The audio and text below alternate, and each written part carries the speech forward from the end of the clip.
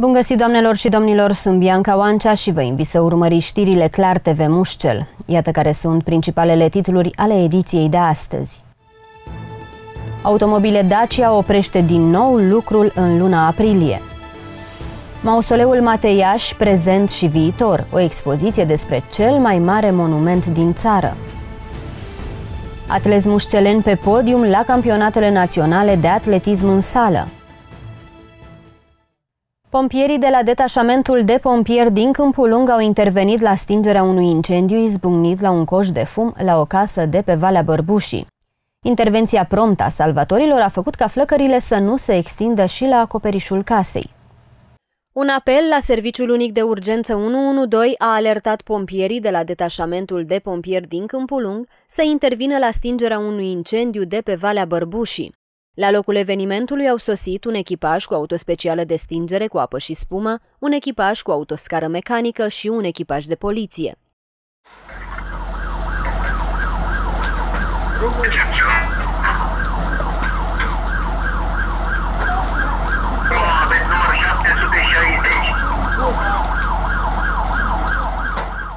Detașamentul de pompieri Câmpul Lung a fost solicitat să intervină la un incendiu la un cuș de fum pe strada Valea Bărbuși în municipiul Câmpul Lung.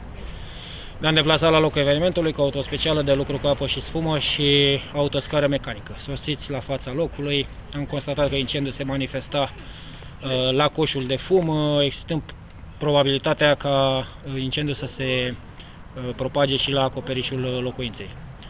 Incendiul a fost stins în limitele găsite, nu au fost alte probleme. Intervenția promptă a pompierilor a făcut ca flăcările să fie stinse în limitele găsite și să nu se extindă și la acoperișul casei. A ars funinginea de pe interiorul coșului, iar cauza probabilă a izbucnirii incendiului a fost coșul de fum necurățat de funingine. Producția de autoturisme la automobile Dacia va fi întreruptă în luna aprilie. Penuria de componente electronice care afectează toată industria de componente auto nu a ocolit nici grupul Renault. Oficialii automobile Dacia au anunțat că uzina de vehicule din Mioveni va opri din nou producția în luna aprilie. Penuria de componente electronice care afectează toată industria auto nu ocolește grupul Renault. Compania depune toate eforturile pentru a limita impactul asupra producției pentru că s-a analizat uh, necesarul de stocuri care uh, se poate asigura pentru luna aprilie și de, de aici au reieșit uh, că șapte zile nu sunt acoperite cu piese de, pe considerentul lipsă de piese componente electronice. Cele șapte zile sunt data de 1 și 2 aprilie, 16, 26, 27, 28 și 29 aprilie, adică săptămâna mare. Cum au reacționat angajații și ce previziuni aveți? Oamenii sunt grijorați de fiecare dată pentru astfel de oprit de producție, dar uh, au și o doză de optimist că anticipăm ca în uh, jumătatea a doua anului să nu mai avem astfel de probleme și să demarăm chiar în uh, forță pentru a recupera mașinile pierdute și chiar să poate lua a lucra și sâmbete sau ore suplimentare. Ați făcut un calcul câte mașini uh, sunt în pierdere în această perioadă? Nu în care nu lucrați? un calcul, dar dacă aș face o situație, știți că în primele luni, în primul trimestru, am avut cam uh, medie 5 zile de oprire de producție în fiecare lună. Sunt 15, să mai adaugă uh, cele 7 în luna aprilie, nu știu ce impact va avea în luna mai. Comenzi există? Uh, comenzi există, uh, este o presiune de partea uh, clienților și de-aia ne dorim să găsim soluții pentru când vom depăși această criză de componente electronice, să facem față și să onorăm comenzile care ne-am angajat față de clienții noștri. Spuneți-ne, vă rog, pe partea de producție se lucrează anumite modele? Da, se lucrează anumite modele în sensul la gama, în gama noastră. Da, da Acum, da, da. ca să ceea ce producem, nu mai producem uh, în gama de vârf de uh, mașini, pentru că uh, lipsa de componente electronice e în speță tocmai la aceste mașini. Lucrăm la gabe, ca modele mai inferioare, să zic, mai slab dotate, dar și aici avem dificultăți. Sunt impactați de reducerea acestui program de lucru cam circa 9.000 de oameni.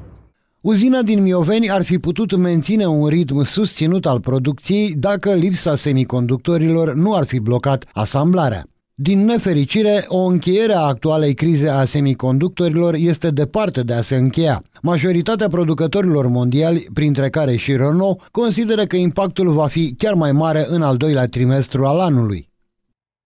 De la primele ore ale dimineții, polițiștii Serviciului de Investigare a Criminalității Economice Argeș, sub supravegherea parchetului de pe lângă judecătoria Costești, au efectuat 38 de percheziții domiciliare în județele Argeș, Olt, Vâlcea și Gorj.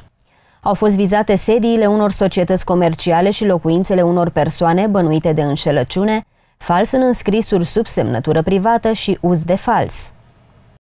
În dimineața zilei de 25 martie, polițiștii din cadrul Serviciului de Investigare a Criminalității Economice Argeș, sub supravegherea parchetului de pe lângă judecătoria Costești, au pus în executare 38 de mandate de percheziție în județele Argeș, Olt, Vâlcea și Gorj, la locuințele unor persoane și sediile unor societăți comerciale, într-un dosar penal privind săvârșirea infracțiunilor de înșelăciune, fals în înscrisuri sub semnătură privată și uz de fals. Din cercetări a reieșit că în perioada octombrie 2020-ianuarie 2021, administratorii a trei societăți comerciale din județul Argeș, profitând de prevederile legislative în contextul pandemiei, ar fi recrutat 68 de persoane, pe numele cărora ar fi încheiat contracte individuale de muncă în mod fictiv, fără ca acestea să desfășoare activități. Scopul a fost de a obține subvenții pe care le-ar fi folosit în interes propriu. Prejudiciul estimat este de 400 de mii de lei. Patru persoane cercetate și alți 68 de martori au fost conduși la sediul poliției pentru audieri. Acțiunea a avut și suportul de specialitate al Direcției Operațiuni Speciale din Poliția Română. Deși nu au un oraș smart, piteștenii se pot mândri cu cea mai scumpă toaletă publică din țară. 400.000 de, de euro a folosit din bani publici fosta administrație pentru o banală toaletă publică, dar dotată cu un lift de o persoane. O nimica toată pe lângă cele 3 milioane de euro folosiți pentru renovarea pieței primăriei. De la depărtare, intrarea în WC seamănă cu o gură de metrou. Treptele abrupte duc într-un subsol cu trei camere de toaletă femei, bărbați și persoane cu handicap. De ce a costat un WC public cât trei vile de lux, ne explică executantul minunii arhitecturale. Costurile, să zicem, ridicate ale obiectivului au fost date datorită faptului că este o construcție îngropată, numai cu pereți din beton armat. Uh, ea tot are o terasă înierbată, cum se va vedea deasupra, luminator, lift pentru persoane cu handicap și toate dotările din uh, interiorul grupului sanitar sunt antivandalism. Ați mai făcut o astfel de lucrare la un asemenea preț? Un Spre ce mă refer? Am mai făcut alte lucrări care uh, au implicat genul ăsta de construcții îngropate, dar ăsta a fost obiectivul la momentul ăsta. Ca să înțelegem, ce înseamnă construcție îngropată? Construcție îngropată uh, poate să însemne de un spațiu tehnic. Am avut realizate spații tehnice și la minus 7 metri adâncime, care au avut costuri foarte mari datorită constrângerilor de amplasament și datorită protecției foarte mari care trebuie făcută în timp să nu existe infiltrații de apă. Elementul cel mai scump a fost partea de rezistență. Deci partea de rezistență, dacă nu mă înșel, undeva la 700 și ceva de mii de lei. Se doreau uh, și alte dotări pe această lucrare sau pur și simplu v-ați încadrat în acest cuantum de 400.000 de euro? Adică se doreau și alte dotări mai scumpe? Uh, mai scump decât ce s-a montat la momentul ăsta nu există, pentru că uh, dotările antivandalism care sunt puse în acest obiectiv sunt cele mai scumpe de pe piață. Ce înseamnă dotări antivandalism? De la grupuri sanitare antivandalism, uh, lavoarele antivandalism, oglinzile sunt antivandalism. Adică tot ce, la ce tot impact ce... sau cum se traduce asta? Uh, oglinzile, de exemplu, sunt din inox șlefuit astfel încât să nu poată fi sparte. Toate grupurile sanitare sunt făcute din inox, cu, cu au certificare antivandalism internațională, astfel încât să nu se spargă, să nu poată să le rupă și așa mai departe. Cu alte cuvinte, firma respectivă a venit cu cea mai ieftină soluție. Chiar dacă era doar un simplu consilier local, actualul edil recunoaște și el că ceva nu e în regulă, dar atunci a votat pentru a nu-și supăra șefii. În uh, ianuarie 2019, Daliu a fost aprobat în Consiliul Local la suma estimată de 19 milioane de lei, din care această toaletă era estimată la 2,4 milioane, deci aproape 500.000 de euro. Estimarea a fost făcută de o firmă de arhitectură din Pitești foarte cunoscută. De ce au estimat atât de sus, nu pot să vă răspund. Eu la asta ar trebui să răspundă dumnealor. Repet, mie mi se pare foarte scump. Asta Erați am spus. consilier local în Eram momentul în consilier care- local, am, uh, acum să mă apuc să spun eu, dar mă rog, văd că este aici, spre exemplu, șefa Comisiei de Evaluare, care știe foarte bine că eu am ridicat problema și a prețului și a necesității acestei lucrări în Consiliul Local, dar trebuie să recunosc că am votat-o, nu contest acest lucru și, dar să nu uitați totuși că avem în Consiliul Local acum un consilier PNL care a fost și viceprimar și primar și dânsul a votat și dumnealui această lucrare și a și coordonat direcția tehnică, cea care a avut în, uh, în sarcină desfășurarea întregii proceduri. Domnule primar, dar spuneți că ați spus ceva, ați ridicat problema. Ce ați spus atunci și ce v-au spus? Am întrebat dacă chiar este nevoie să facem această lucrare și am, mi s-a părut foarte scumpă. De cine? Uh, nu am fost uh, încântat de cum a ieșit tot, dar practic până ce am reușit să fac de când am venit în primărie, eu măcar sunt mulțumit de faptul că n-au fost întârzieri la uh, finalizarea acestei lucrări și vreau să vă spun că am făcut și multe lucruri în plus față de ce se putea face. Dar Uh, mai am și ca un apel către cetățeni, ca o, nu știu, o ironie tristă, așa să spun. Uh, noi ne dorim să fim unul dintre cele mai smart uh, orașe din România. Deocamdată avem cel mai smart uh, wc Ei, măcar uh, asta mi-aș dori, ca dacă tot a costat atât de mult, să nu cumva să, să rămână funcțional o perioadă cât mai lungă de timp. Șefa de la investiții spune că i s-au pus hârtiile sub nas, iar devizele erau obligatorii de semnat. Noi la Serviciul Investiții primim uh, propunerile și fundamentările investițiilor care sunt aprobate de către conducătorul instituției. Iar noi la investiții derulăm procedurile conform legii achizițiilor și derulăm contractele de execuție. Uh, Oportunitatea și necesitatea executării acestui obiectiv de investiții a fost stabilit de conducerea de la vremea respectivă. Bun, și Practic, ce v-a spus dumneavoastră- fostul primar în momentul în care ați avut discuții despre această achiziție Că, publică? că trebuie să executăm acest uh, obiectiv de investiții, că sunt foarte multe sesizări de la cetățeni, că uh, dalele de granit sunt degradate, că se întâmplă accidente, că nu pot circula copiii cu biciclete, cu trotinete. Păi și nu pot circula, nu puteau circula atunci și acum nu au voie. Da. Noi decât uh, derulăm procedurile de achiziție și efectiv uh, urmărim derularea Doamna contractelor. Gava, ca să simplificăm, practic dumneavoastră nu puteați comenta nimic la un proiect adus de primar. Nu, pentru că nu stabilim noi necesitatea și oportunitatea realizării unei obiective investiții. Dacă ci ar fi fost să vă dați o părere, ce, ce i-ați fi spus fostului primar? i-aș fi spus că este foarte mare sumă. Cu banii aceștia, în mod normal, s-ar fi ridicat trei vile sau, cum spune primarul, s-ar fi terminat reabilitarea bazinului olimpic. Timp de aproximativ patru luni, la Mausoleul Mateiaș se poate vizita o expoziție tematică despre construirea acestui impunător monument. De-a lungul timpului, ansamblul monumental situat în comuna Valea Mare Pravăț, pe locul unde s-au dat cele mai grele lupte în primul război mondial, a suferit o serie de transformări până la a ajunge ceea ce este astăzi, cel mai mare monument al românilor. În perioada martie-iunie, cel mai mare monument al românilor, mausoleul de la Mateiaș, situat în comuna Valea Mare Pravăț, este centrul unei expoziții temporare dedicate ridicării acestui edificiu. Mausoleul Mateiaș este monumentul simbol al vitejiei românești, unde își dorm somnul de veci sute de eroi ce și-au dat viața pentru a apăra pământul strămoșesc. Este simbolul jertfei eroilor căzuți la datorie în timpul primului război mondial. Muntele Mateiaș a constituit principalul punct de apărare al armatei române din trecătoarea Rucăr-Bran, iar locul a fost însemnat cu ridicarea unui impresionant mausoleu ce pomenește și astăzi de jertfa lor. Vizitatorii pot afla întreaga istorie a locului pornind de la ideea ridicării mausoleului, punerea pietrei de temelie și urmele lăsate de trecerea timpului. De asemenea, au posibilitatea de a afla detalii despre eroii a căror amintire nu moare niciodată, dar și mai multe lucruri neștiute despre personalitățile ce au ajutat la ridicarea mausoleului eroilor de la Mateiaș. Expoziția Mausoleu Mateaș, un simbol al uh, vitejiei românești, organizată de Muzeul Municipal Câmpul Lung, prezintă istoria edificării Mausoleului Mateaș. Uh, existența acestui monument se datorează în primul rând efortului deosebit depus de mușeleni în general și de câmpulungeni în special, oamenii patrioți care mm, au depus un efort deosebit în construirea și întreținerea acestui monument.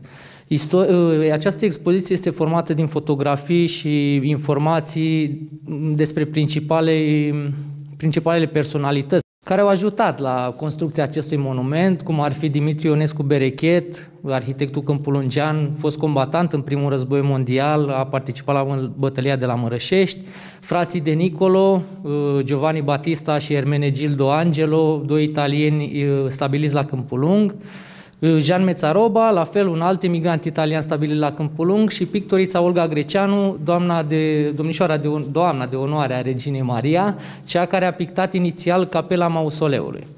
Uh, expoziția prezintă în primul rând istoria mausoleului în perioada 1928-1935, perioada în care mausoleul propriu-zis a fost construit și mm, totodată prezintă și istoria anilor 1979-1984, când oamenii cu suflet mare au reușit să consolideze acest monument, să restaureze după cutremurul din 77 și totodată să le extindă, să construiască acest ansamblu monumental. Uh, vreau să menționez pe domnul profesor, fostul director al Muzeului Municipal Câmpulung, Ștefan Trâmbaciu, care a avut um, un aport deosebit în construcția acestui monument. Uh, șeful uh, șantierului Câmpulung Mușel, domnul Ion Bărboi, meșterul Constantin Țâru și mulți, mulți alții. Această expoziție prezintă și mausoleul în prezent. În anul 2016 am avut vizita președintelui Claus Iohannis și anual Mausoleul Mateaș găzduiește ceremonii de comemorare a eroilor în fiecare an de ziua națională, de ziua armatei și de ziua eroilor.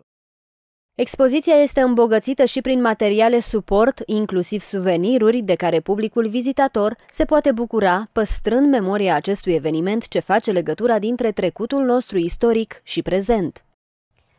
În fiecare an, pe 25 martie, este sărbătorită Buna Vestire sau popular Blagoveștenia. Praznicul este în amintirea zilei în care Sfântul Arhanghel Gavril a vestit Sfintei Fecioare că îl va naște pe Fiul lui Dumnezeu. Sărbătoarea Bunei Vestiri a fost marcată de credincioși prin rugăciune și participarea la Sfânta Liturghie. Buna Vestire este prima sărbătoare confirmată în documente dintre sărbătorile Maicii Domnului. În ziua Bunei Vestiri este marcat momentul în care Fecioara Maria din Nazaret, crescută în templu până la 15 ani și apoi dată în tutela lui Iosif, căci părinții ei muriseră, a fost aleasă de Dumnezeu să-l nască pe fiul său și a primit înștiințare prin Arhanghelul Gavril. Praznicul este în amintirea zilei în care Sfântul Arhanghel Gavril a vestit Sfintei Fecioare că va naște pe Fiul lui Dumnezeu.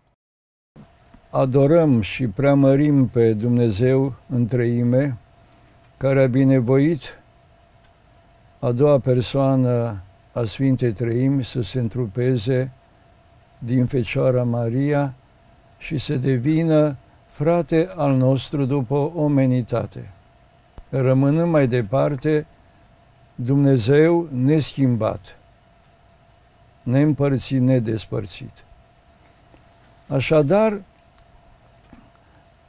totodată Uh, supracinstim pe Maica Domnului, pe Fecioara Maria, care a binevoit ca din ea să se nască cu trup Fiul lui Dumnezeu. Am putea spune că, începând cu buna vestire,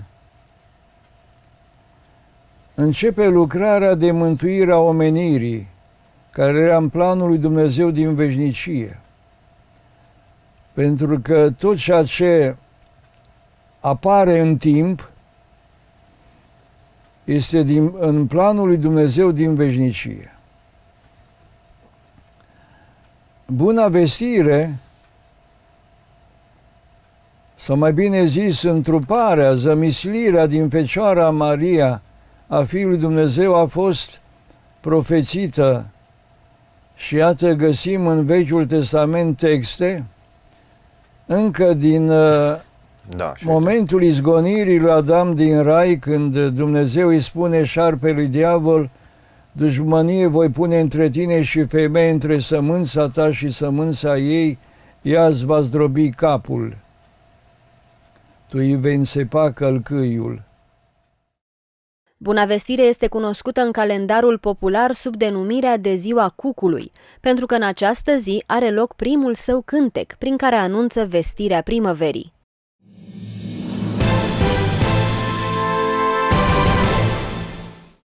Șase medalii au reușit să obțină atleții legitimați la liceul cu program de atletism la campionatele naționale de probe combinate pentru seniori, tineret și juniori. Competiția s-a desfășurat în sala Ioan Șoter din complexul sportiv Lia Manoliu din București. Sala de atletism Ioan Soter din complexul sportiv Lia Manoliu din București a găzduit în weekendul trecut întrecerile contând pentru campionatul național de probe combinate pentru seniori, tineret și juniori 1, 2, 3. La competiție a fost prezentă și o delegație de sportivi de la liceul cu program sportiv din Câmpul Lung, care a reușit să adune la final o zestre de șase medalii, dintre care una de aur, două de argint și trei de bronz. Pe cea mai înaltă treaptă a podiumului a urcat Emanuel Ciulin în proba de heptatlon la categoria Under 18. Georgiana Ciureaș și-a adăugat în palmares alte două medalii în proba de pentatlon, punctând atât la tineret, unde a obținut medalia de argint, cât și la seniori, clasându-se pe locul al treilea. Medalie de argint a obținut și Ionuț George Iordache în proba de heptatlon la categoria Under 20, în timp ce Constantin Dinescu la categoria Under 20 și Ionuț Ispășanu la categoria Under 18 s-au clasat pe locul al treilea, ambii în proba de heptatlon. În weekendul trecut la București a avut loc uh, ultima competiție națională, cea de probe combinate, competiție așteptată de noi, de liceu cu program sportiv, pentru că aici suntem noi specialiști. Și am aliniat la start 8 sportivi, dintre care uh, 5 au obținut medalii este vorba de Ciurea Georgiana, care s-a clasat pe locul 2 la tineret și pe locul 3 la, tine, la seniori în proba de pentatlon. Uh, este vorba de Iordache George Ionuț, care s-a clasat pe locul 2 la juniori 1 și Dinescu uh, Costel, care s-a clasat pe locul 3 la aceeași categorie. Și îmbucurător uh, este la rezultatul de la Junior 2 al lui Ciulin Emanuel care a reușit să câștige competiția, iar pe locul 3 s-a clasat Ispășanu Ionuț, uh, nou selecționat. Uh, este selecționat de doamna Doina Ruțu în luna septembrie. Acest sezon competițional de iarnă a fost aparte, cu o pregătire atipică și sau ne-am străduit, atât eu, cât și domnii profesori, antrenori, cât și sportivii, să ne adaptăm la această normalitate. Antrenamente puține și în condiții atipice. Dar rezultatele sunt îmbucurătoare. În afara podiumului s-au aflat și atletele Andreea Tăbăcaru și Miruna Oprescu. Sportivii sunt pregătiți de profesorii Gigi Ivan, Mihaela Nicoară, Daniela Leoca și Doina Rusu.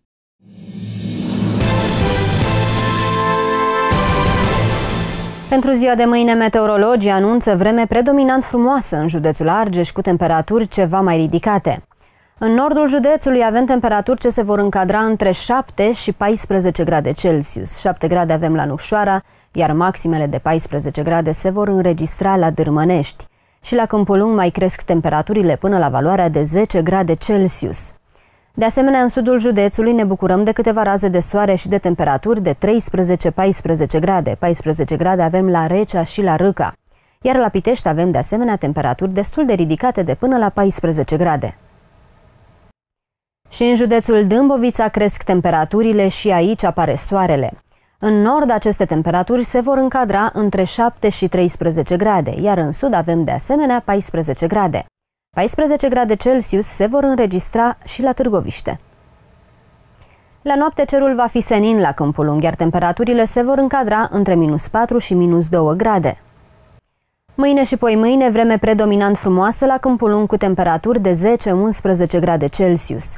Duminică, chiar dacă temperaturile cresc până la valoarea de 13 grade, apar din nou precipitațiile. Atât pentru astăzi, eu vă aștept și mâine cu alte informații despre vreme.